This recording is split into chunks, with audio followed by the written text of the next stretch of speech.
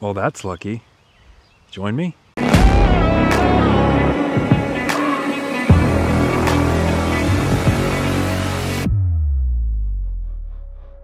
Welcome back to the Sometimes Builds. This was an unexpected video I get to film today. So a, mic a micro cell rolled through um, where I live and it took out three trees. Check this out. So here's the first tree. As you can see, I think it was like a pear tree or something. I forget what it is. Completely snapped it off here. And this side is over here. Came within inches of the RS and about a foot from the WRX.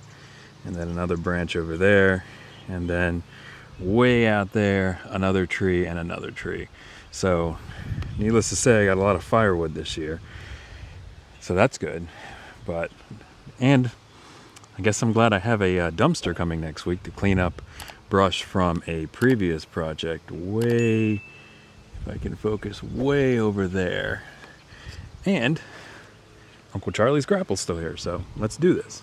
Also, look at this. That's a foot. Look at that. Didn't even scratch it, but look how close it is. Right there. That's wild.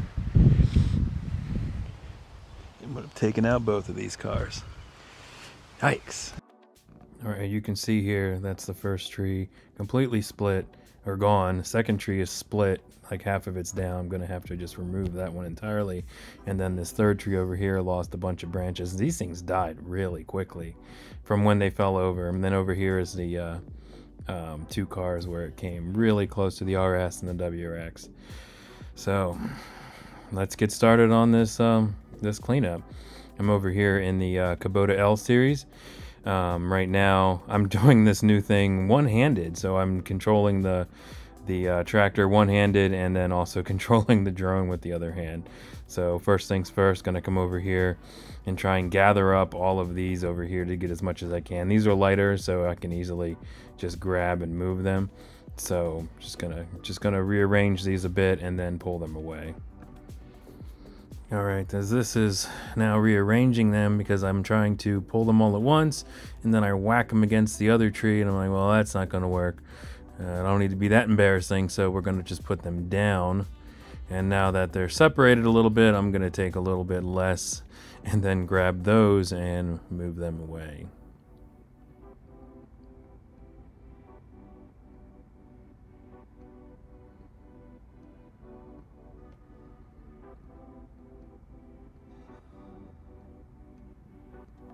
See, so here it's like don't bite off more than you can chew. You can take a little bit at a time and then make multiple trips. There's no harm in taking multiple trips.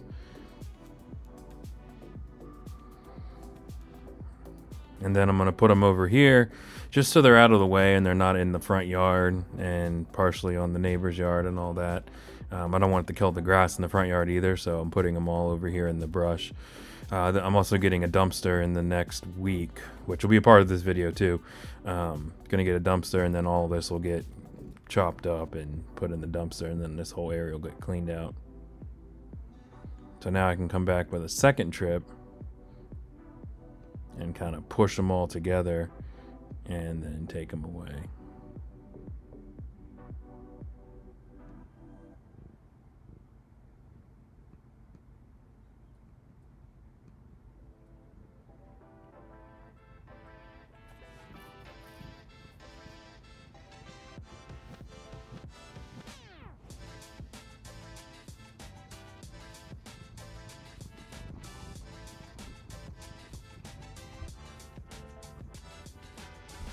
There's a little hesitation here. I was trying to go backwards, and I'm like, well, I guess I'll just go forwards. Maybe I'll just go back and rearrange it a little bit, try and pull them back, and then um, push it together again. So here we go, pushing it all together so I can get that last branch in the grapple.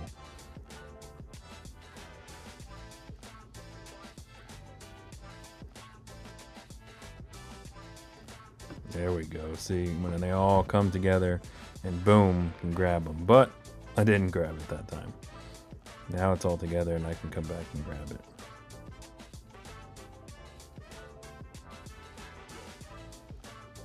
And unlike doing this in Uncle Charlie's cabin, I'm trying not to mess up the grass underneath. So I'm trying to keep it right on the surface, don't get too much. So it looks like I just just got enough to get the whole thing and now I can take it take it away. Even though the front wheels are catching a couple branches and it did break off that one branch, so I got to come back and get it. But got most of it all in that in that second pull. And looks like in this in the upper right corner of this video, I can see that other branch of the tree is also starting to really bend. So I might have to whack that one off when I have the dumpster as well, because that does not look good.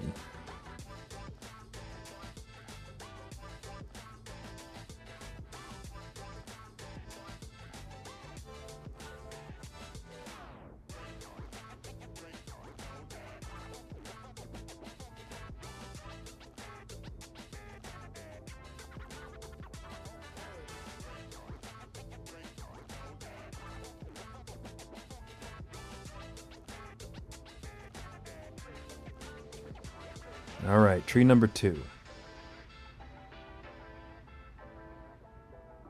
Always trying, always wanted to get the whole thing at once because that's just so satisfying. So I'm trying to grab this entire branch at the same time, but I only end up grabbing a little bit. So I figure might as well just get rid of this little bit and then I'll come back and I'll try for the for the big fish. All right, coming back again trying to push into it a bit so I can get to the main um, the main trunk of this brush.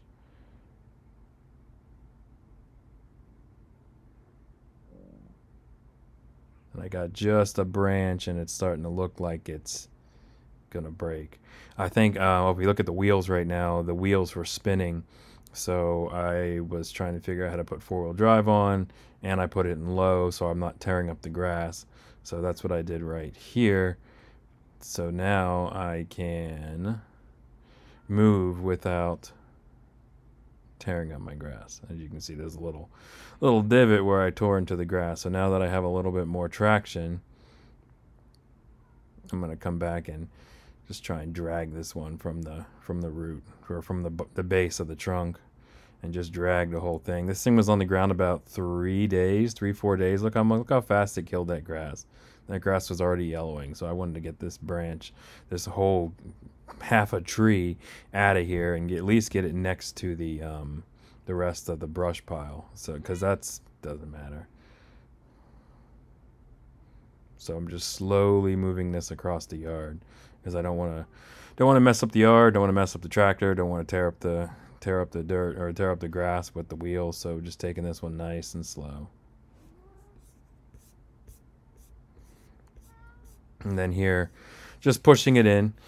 Um, can't really pick it up because it's just so bushy. I'm gonna have to come back and cut this into smaller chunks because I need this to fit in a in a 30 yard trash can later or a 30 yard dumpster later. So right now I'm just gonna push this closer to the brush pile. But because I'm paranoid because this is Uncle Charlie's tractor, I don't want anything anywhere close to that radiator. So I only push it a little bit at a time, which doesn't get it to move too much, but I want nothing to get close to that radiator. I want I don't want any incidents that happen at the cabin, so I take this very easy and just kind of nudge it to get it close to the brush pile, close to under the trees so I can deal with it later in the week and it's not killing the front yard grass. And at this point I should mention I do not have as, as much experience as Uncle Charlie does on this tractor. This is still very new to me for grappling and the right techniques. He could have probably picked this whole thing up and lifted it up and then carried it across the yard. He's a lot more experienced than I am with this, so I'm just trying to take it easy and mainly not break anything or mess up the grass and just get it out of the front of the yard. All right, now this is the big tree. This is these are really heavy branches, so I'm gonna try and move this one all at once which does not work right away. So always come back and try a different angle. So I'm thinking here, if I grab the base of it, at least I can drag it away. So I'm going to come in and try and grab just the base trunk of the tree. And there we go.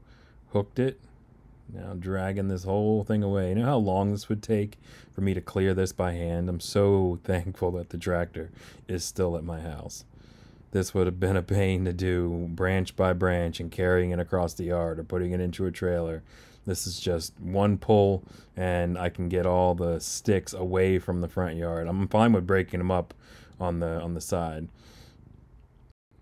And then here we go. This is the finished view. I put the, the camera away because I wanted to get that big that big tree out of there. I had, to, I had to cut it up into a couple pieces to pull it away. Um, it was really heavy. So this is everything cleared out of the front. So there's no brush. There's nothing really messing up the front yard. I can do it all in the side yard now. But that look at that first tree. That first tree snapped like a twig. Apparently it's really common with these trees. And then the second tree has half left. Third tree looks like it needs a little trimming because it's kind of it's kind of split in two. So I might trim that up a bit. And then here's here's where I put everything on the side. This is really just to get it out of the way. And look how fast all the branches died. This has only been three, four days. So now everything's over here, um, out of the way, so I can come back with a chainsaw, get it cut up into nice straight pieces so it'll fit in the uh, 30 yard dumpster. And also, look what happens when you use a tractor on a nice lawn it doesn't permanently damage it. It takes a few days and the grass will come back up again. It'll, straighten back up, stand up again. But this is what it looks like when you use a tractor. All right, day two here. I've already gotten started on a lot of this, trying to get you know the method down. So first, I got to say, using a tractor makes this extremely easy. My back was not hurting after dealing with this, having the tractor lift this, lift these things up. I'm using the tractor to help me lift up the entire branch and then I'll cut off the large section. I want to cut off those sections to basically save it for firewood. I, I don't want to put it, I don't want this to go to waste. It's really good firewood. And then secondly, um, I'm using it to shorten the length of some of these branches. I need this to fit in a 30 yard um, trash can and not be you know too bushy so it, it takes up too much space. So as you can see on this one, I'm cutting off some of the ends so when I do lift it and take it over to the little piles on the left of the screen, um, it will, it'll fit better. So here's one small pile going over right now. And then getting another one situated. See, it's, it's nice and short and it'll all lay flat. And then I can pick it up once I get the technique down and get all of it. Then I can take it away.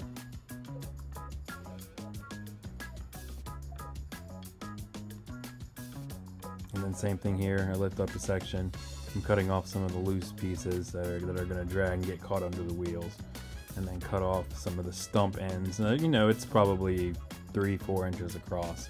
So it'll be good, a little good, a little bit of good firewood. So take that away. And then come back over here, get some trash, take that out of there too. And we're going for another one. Let's see what we, what we get this time. Yeah, this is a thick one. So this one I need to cut in half. So I'm going to take the saw, you see here, and I'm cutting off the ends to get the, the good stuff for firewood and then trim off any of the random small branches off of there. So I got that trimmed off. And now I'm trying to shape the back of it so I can pick up a solid, a solid piece and then cut that in half. So right now, just trimming up the back and taking off any large pieces I can. And then here you'll see I'm cutting all the branches basically in half so there's going to be two piles of shorter sticks. And then we can take the tractor and then pull back a little bit more and there we got a clean pile. And put that over in my pile on the left. Basically I'm getting this ready for Uncle Charlie when he comes over on the weekend so it's easier to just pick stuff up and put it into the um, dumpster instead of having to deal with this on Saturday. So same, more of the same here, just cutting more up, and then I back up and I say, oh look, we got more, got more attached to it. Got to trim out some more and cut the rest of them off.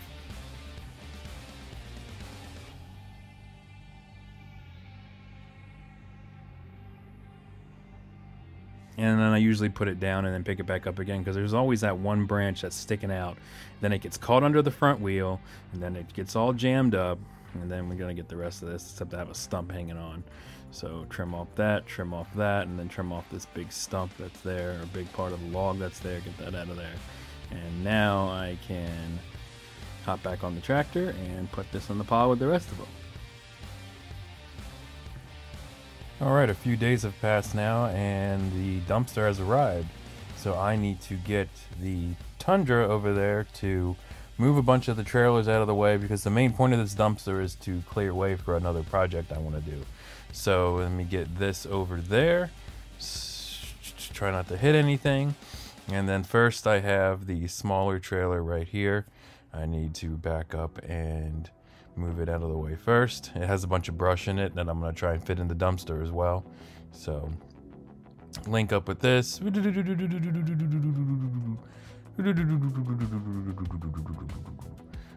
Putting the old hitch down and pull away with all this. This is from the pine tree that I cut down a few weeks ago, or shoot, a month ago.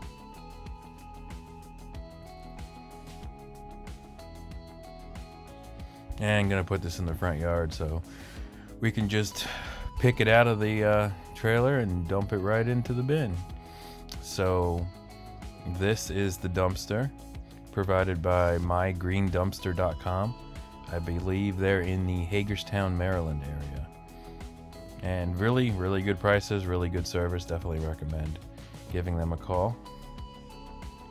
Now I need to get the bigger trailer out of the way. This is the one that we use to, the Appalachian trailer we use to move the um, tractor around. So, oh, nope, gotta go back up. Back up the truck a little bit and and a little bit more and it's not on the correct ball of the hitch, but I'm just pulling it out of the way. I really just pulled this straight forward so it wasn't in the way of um, clearing out around this shed because that's going to be the next project. So this is now the following day. Um, Uncle Charlie came over and we're going to try and stuff as much brush into this dumpster as we can and we can't be over the line. We have to stay under the uh, the rim of the uh, dumpster.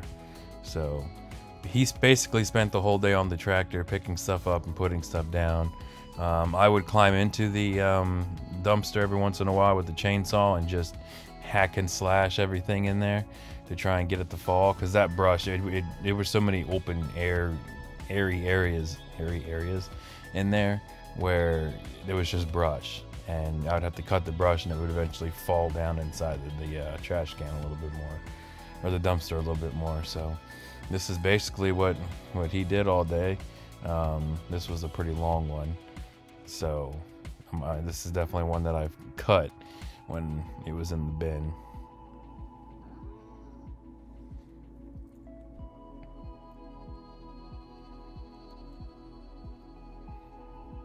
And then you can see here he's picking up another another batch, trying to get all this in one go. This was one of the batches that I had all cut up and nice and small, so should be a pickup and put down without much problem, but you know, it's always a mess.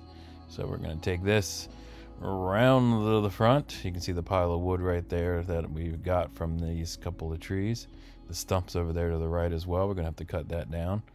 Uh, Charlie used the stump grinder on that stump. You'll see that in a little bit. I also had to sharpen my chainsaw blade and I uh, cut the rest of that stump off. He didn't. He didn't grind it from that height. I cut it to the ground. So he's trying to get a good a good grip so it's all all together, bunched together as one and not a bunch of different pieces. So now he can take that over. Um, and I wish I recorded some of the larger stumps. From the larger stumps from that pine tree, he had, you see how high he has to get the tractor to get it in. That was a little dicey with like 600 pound stump or you know, log in the air. So then he would drop it in there, and then I would go and I would come behind and cut it with the chainsaw while it was in there to get it to fall down a little bit.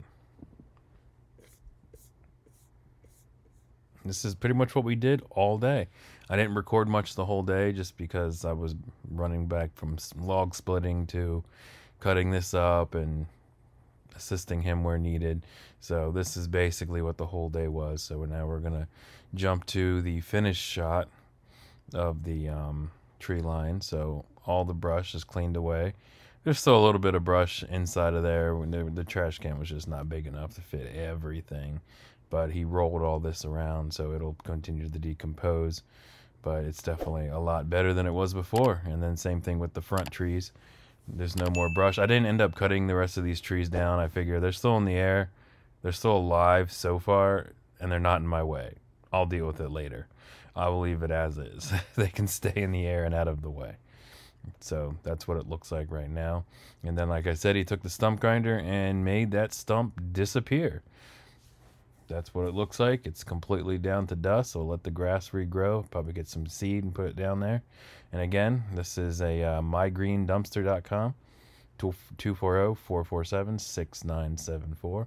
Um, they this was not paid. I paid for this dumpster entirely. There was no discounts, no nothing. They don't even know I'm recording this, but this is definitely a uh, a uh, good company to work with. And I would definitely use them again. MyGreenDumpster.com out of Hagerstown, Maryland. And you can use as you can see, it's pretty full. I'm gonna have to come back in and readjust because I got to get it below that line. Like I'll, I'll cut some of that big log up and cut some of the areas on the on the edges and move things around to get it to all fall in because there's still a lot of still look at that look at that open space down there in that corner. I can fit all kinds of stuff in there. Um, this big dumpster I get for two weeks, but shoot, I'll have it gone in 24, 48 hours from now. So this is the uh, shed project. We cleared out all of the scrap from over there. So now we can replace all the sides and the trim and the roof. Everything needs to get replaced on this shed. So that's coming soon.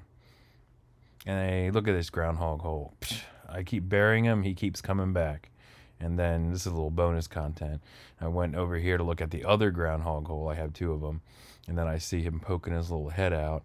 So you'll see him right in the upper left hand corner, right there, poking his head up. And then he sees me and he's like, oh crap, I got to get out of here. And he runs in his hole and he pops his head up again and down and up and down. And then he pokes it up one more time to take a peek. And then he sees me coming and whoop, out of there. So thank you for watching. If you enjoy this kind of content, definitely consider subscribing below. See you next time. Peace.